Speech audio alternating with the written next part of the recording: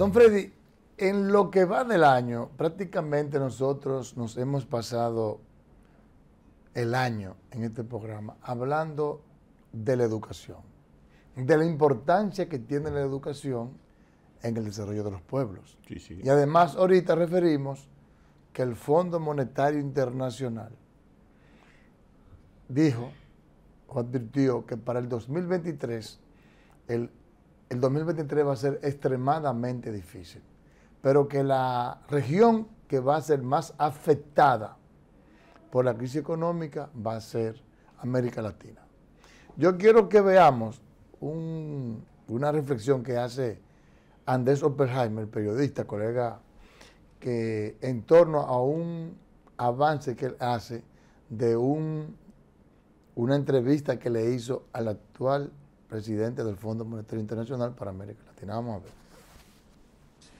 Hola, soy Andrés Oppenheimer. El Fondo Monetario Internacional dio a conocer hace pocos días su pronóstico para las economías de América Latina en el 2023. Y esos pronósticos son para llorar. Dicen que la región va a crecer apenas un 1.7% el año que viene, o sea, bastante menos que este año y menos que varias otras partes del mundo en desarrollo. Pero lo que me pareció más interesante cuando entrevisté hace pocas horas al director del Departamento del Hemisferio Occidental del Fondo Monetario, Ilan Goldfein, fue su respuesta cuando le pregunté por qué estamos creciendo tan poco, cuál es el motivo del rezago de América Latina. Y lo interesante fue que Goldfein, que es un economista, por donde se lo mire, ex gobernador del Banco Central de Brasil, no me mencionó factores externos, como la guerra de Ucrania ni nada de eso.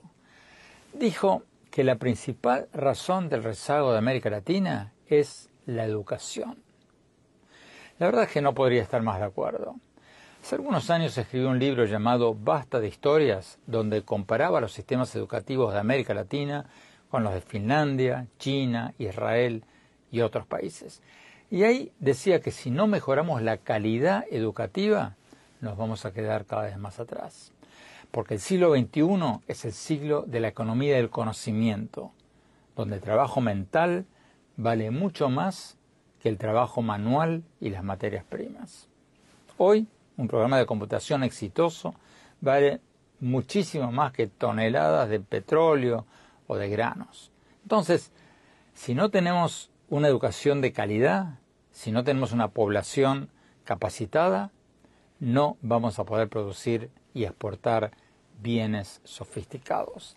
Y lo peor del caso es que según un reciente estudio del Banco Mundial y la UNESCO, la pandemia afectó enormemente la calidad educativa en América Latina, más que en otras partes. Según este informe, los niños de América Latina vivieron algunos de los cierres de escuelas más largos del mundo. El informe prevé que cuatro de cada cinco alumnos de sexto grado en América Latina no van a alcanzar un nivel mínimo de comprensión de lectura.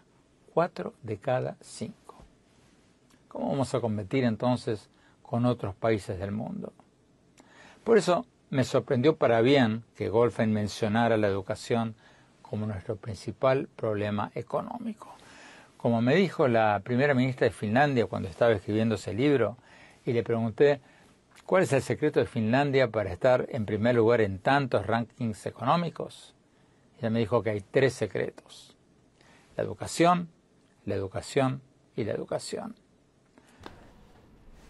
Bueno, don Freddy, ¿usted ve? Sí, sí. qué, bueno que usted liga el consejo económico y el comentario de Oppenheimer con el tema de la educación, porque justamente hoy está en la palestra pública aquí en República Dominicana. El tema de la educación a partir de la propuesta que ha hecho el Poder Ejecutivo mediante un decreto anunciando la plataforma de, servicio eh, de transporte para la educación pública que va a tocar un abanico de dos millones de estudiantes en todo el país y justamente ha salido a relucir que el problema del transporte estudiantil es un problema, por eso ustedes vieron que Hugo Vera, después del decreto, dijo que ya está hecha la normativa para regular ese tipo de transporte, porque hay transporte privado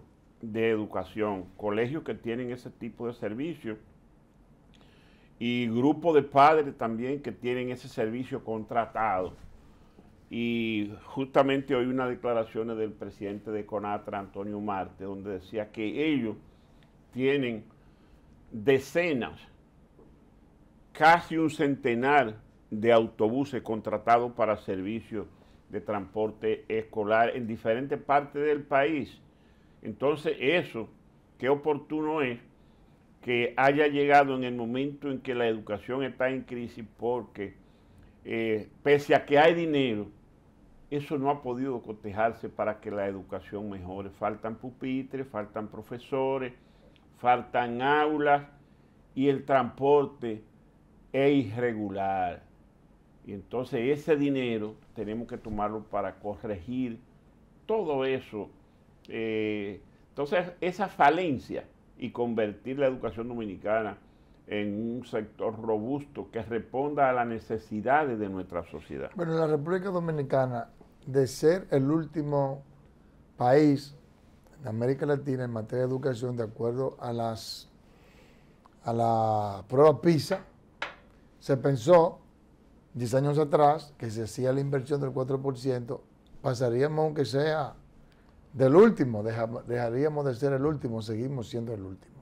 Y no ha habido ni siquiera la capacidad en 10 años para planificar adecuadamente la inversión del 4%. Ahora descubrimos que todos los años no hubo forma de cumplir con la aplicación del 4%. La suerte es que la ley, la ley fue lo suficientemente inteligente para estipular que aunque no se gastara el dinero, no se podía desviar para, para otro sitio. Entonces yo espero que ahora, ojalá hayan oído esa reflexión y hayan oído a todos los que nos hemos preocupado, todos prácticamente, todos los comunicadores, nos hemos preocupado por la deficiencia en la, en la comunicación. Ojalá que ahora, con este nuevo ministro de Educación, todas esas falencias que usted acaba de mencionar, que faltan pupitres, que faltan eh, eh, eh, tablets, que faltan computadoras, que falta internet, que faltan profesores, que faltan aulas, que ahora tampoco no había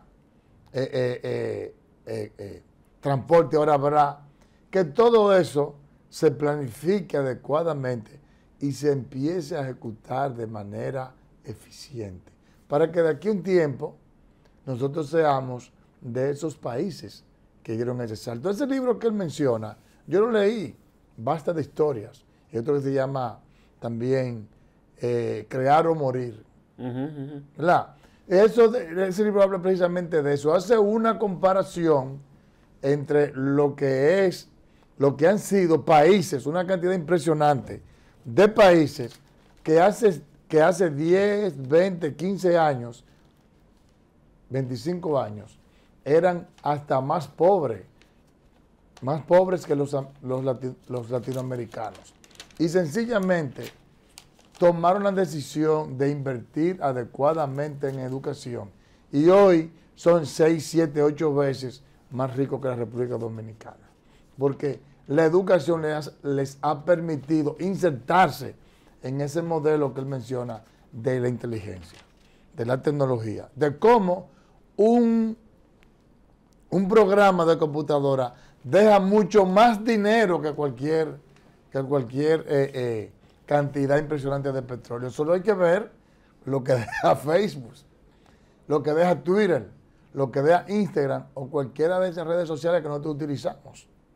Busque cuáles son los hombres más ricos del mundo y verán que todos son del área tecnológica. Entonces tenemos que caminar de acuerdo a lo que dice el mundo. Tenemos que mejorar la educación. Sí, mire, eh, mundo, amable televidente, hoy se mantiene como la principal noticia internacional, al igual que ayer, ya la juramentación y la bendición del nuevo primer ministro inglés, Rishi Sanup, que es un joven profesional de la economía, ya ocupó el puesto de ministro de Economía de Inglaterra y ahora ocupa el puesto de primer ministro, el primer primer ministro negro de un país de esa categoría en Europa.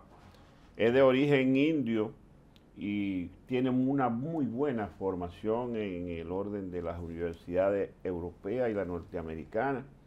Y justamente fue hoy bendecido y juramentado por el rey Carlos III, que ese era lo que faltaba después que ayer en la primaria del Partido Conservador fue confirmado como nueva autoridad.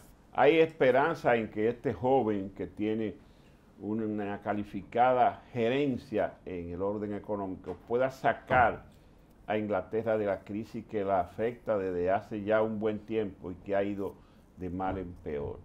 Es el tercer primer ministro en los últimos eh, dos meses y el quinto primer ministro en los últimos cinco años. Y se ponen la esperanza a los ingleses en él y yo pienso que sí, que el currículum y su hoja académica dice que podría enderezar el rumbo de la economía y aminorar la crisis. Sustituye en el cargo a Lee Truss, que apenas duró 45 días. Coño, que, es un récord, Fred. Sí, sí. El primero en felicitarlo después que fue juramentado hoy por el rey fue el presidente norteamericano Joe Biden, según lo anunció la vocera de la Casa Blanca, que le deseó éxito, que va a trabajar y a, iniciar inmediatamente la cooperación que siempre ha habido entre Estados Unidos e Inglaterra. Y esa es una gran noticia que le lleva tranquilidad a ese pueblo que en los últimos días, en los últimos días no, desde que comenzó el Brexit y esa loquera que tuvo el pasado primer ministro Boris Johnson, eh, eso ha ido de mal en peor. Fíjense la vestimenta de este joven que contrasta con la vestimenta de Boris Johnson, que andaba siempre desaliñado, mal peinado. Un saco así como y un saco cayendo. Entonces dice la prensa europea, la prensa rosa, que este muchacho es muy formal, viste muy correctamente, es delgadito, diferente a, Boris Johnson que era obeso y, siempre andaba despeinado. Sí, sí, sí.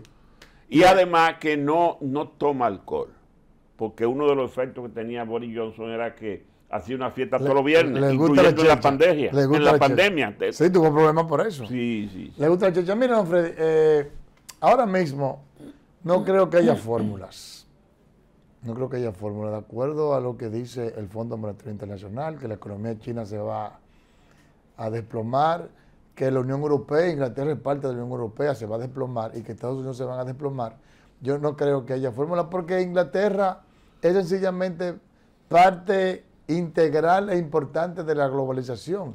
Entonces, indefectiblemente, el efecto negativo que tendrá la economía se va a reflejar en Inglaterra. Ahora, puede buscar paliativos, puede buscar fórmulas que impacten menos o que por lo menos, por lo menos políticamente o socialmente sean menos eh, eh, eh, negativas, como el hecho de, la equivocación que tuvo Listros en el sentido de que ella buscando una fórmula para dinamizar la economía decidió disminuir los impuestos a los empresarios, a los ricos, no lo hizo así, con la clase pobre y la clase media, pero mientras se le vivió la vida a la clase rica, no se sintió una mejoría en la clase pobre y, por eso lo pagó. Porque no hubo un contrato, una negociación previa, te voy a facilitar, pero invierte inmediatamente. Que se vea de inmediato esa facilidad que yo te estoy dando. ¿Qué va a buscar él? Bueno, habrá que esperar, pero definitivamente, de acuerdo a cómo se ve que de lo que hay actualmente y los presagios tan negativos que hay para el año que viene, no creo que él logre gran cosa, más que tomar medidas, digamos, económicas que sean paliativos y que tengan eh, la inteligencia política como para mantener, eh, digamos, eh, más o menos tranquilo al pueblo británico, que por supuesto es un pueblo exigente. Evidentemente que tendrá que buscar de manera muy particular eh, dinámica para disminuir el nivel de inflación, que es lo que más molesta. Porque esos son países que están acostumbrados a tener una inflación anual que ronde entre un 1%, un 1.1 y quizás un 2, ya eso es una barbaridad. Y ellos andan por encima del 10%.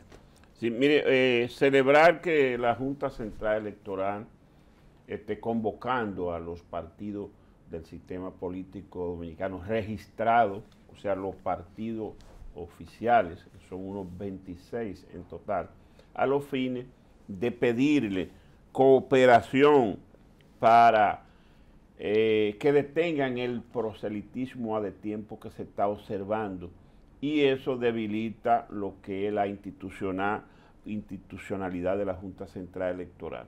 La Junta no tiene eh, la garra para impedir eso porque eh, la ley que, que le daría las herramientas para ello está excursando en el Congreso Nacional, en la ley de partido y la ley electoral. De todas maneras, ciertamente observamos un aumento del proselitismo y usted lo vio el fin de semana y todavía hoy. El fin de semana hubo varias actividades, entre ellas un acto de la reelección en Santiago, donde fue mucha gente y eso debió estar autorizado y no, no se hizo. Pero también el Partido Reformista hizo dos actividades diferentes y hoy el Partido de la Liberación Dominicana tiene aquí en el pabellón de voleibol una convención prácticamente para elegir 20 mujeres al comité central de la fuerza del pueblo. La fuerza del pueblo.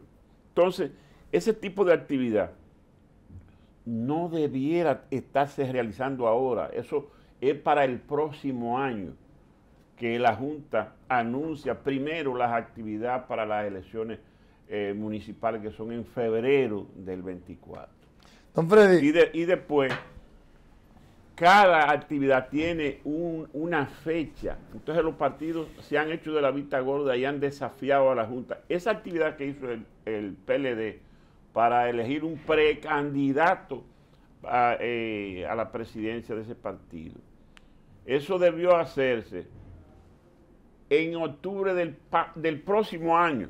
Sin embargo, ellos lo disfrazaron y que no, es una consulta y pusieron eso. Entonces la Junta no tiene cómo hacerlo. De todas maneras, Esperamos que los partidos acudan al llamado de Román Jaque y que también obtemperen a los consejos que en esa dirección él pueda dar.